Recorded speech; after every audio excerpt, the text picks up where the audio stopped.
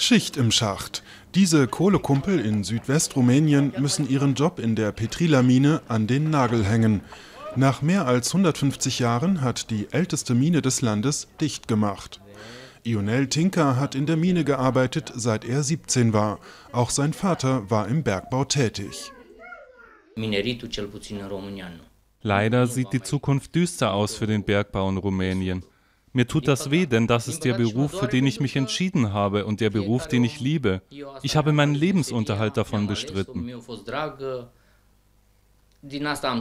Ionel Tinker wird nun erstmal in einer anderen Mine in der Region arbeiten, doch auch die soll in zwei Jahren schließen. Mit seinem Schicksal steht er nicht alleine da. Die meisten seiner Kollegen gehen in den Ruhestand oder sie werden arbeitslos.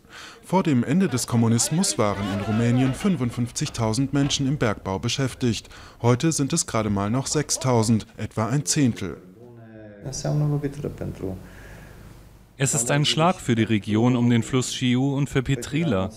Wenn die Minen schließen, wird das einen Rückgang bei der Bevölkerungszahl mit sich bringen. Und es wird immer härter werden, hier zu leben, weil alles vom Bergbau abhängt.